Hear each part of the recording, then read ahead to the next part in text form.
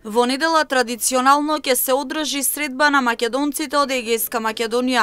Сдруженијето Мирка Гинова од Штип и оваа година ја организира средбата на која се поканети гости од државата и странство од Егејскиот и Пиринскиот дел. Почетокот е закажан во 11 часот и се очекува голем интерес од страна на граѓаните. А, ова година ќе биде под мотото Песната обединува.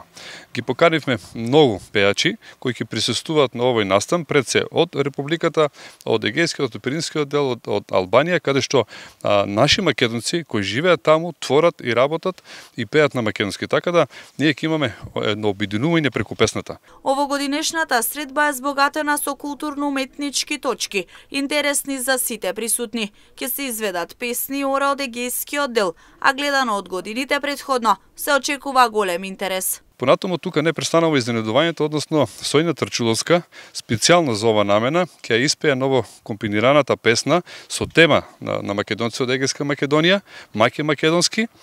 Понатаму Илче Јованов со неговата група оркестар формира специјално за ова намена за за ова средба, меѓутоа и за други средби каде што ќе се среќаваат македонците по потекло од Егејска Македонија, снимија десетина песни кои а, и ора кои се од Егејскиот дел на Македонија. Тука вклучително ќе биде и Васли Чамов кој исто така ќе промовира своји песни кои ги снимаше во, во кои се како песни од Егејскиот дел на Македонија, понатаму ќе настапи и Марија Димкова со својот репертуар позната во штипската и македонската јавност, Давид Миладинов.